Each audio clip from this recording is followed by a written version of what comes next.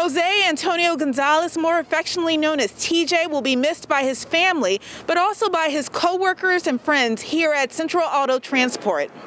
My uncle is actually he um he worked for Central Auto um tow truck company, so the man who owns Central Auto paid for him to come back home with his daughters. Kayla Hortez of Hartford shared how her family lost her uncle, 42 year old TJ, in a tragic accident. He drowned, saving the lives of his two daughters. He, he was definitely an angel on earth. Leanne Greco and her husband are owners of Central Auto and Transport. She says TJ was like family to them.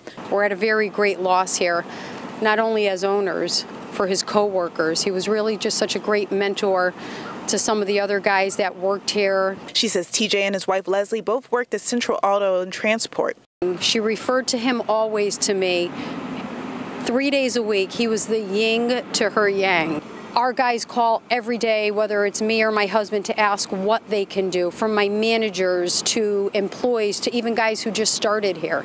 You know, they want to help with whatever they can to support TJ. He's, he was more than a friend, he was a brother. You know, he was always there to back anybody up or help them out, regardless of the situation. Even if he didn't want to do it, he'd be there to help you in a minute. Just hear the story about, you know, what he did for his, his daughters and everything down there just shows the kind of person that he was. Gonzalez family now asking for tow truck drivers to take part in his funeral procession this weekend.